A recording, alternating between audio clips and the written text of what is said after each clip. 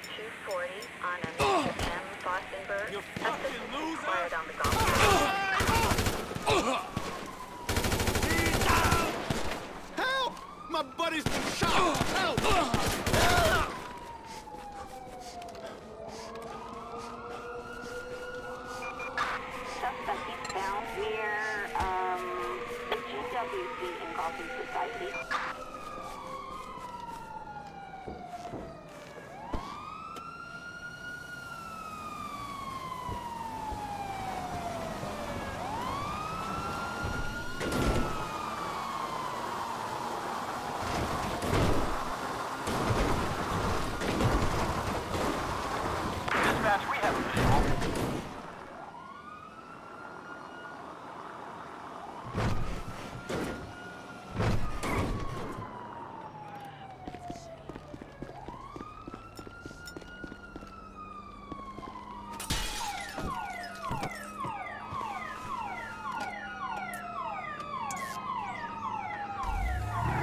pharmaceutical industry is at it again.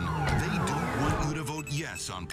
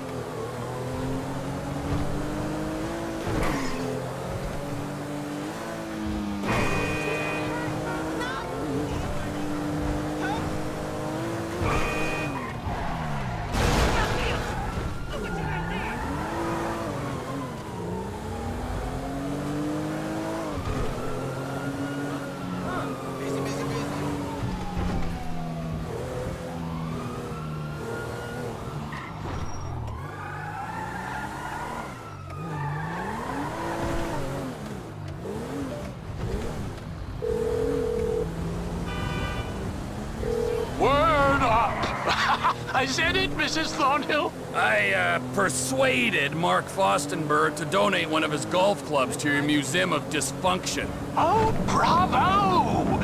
It will take pride of place on the wall above Jill von Crastenburg's pregnancy test.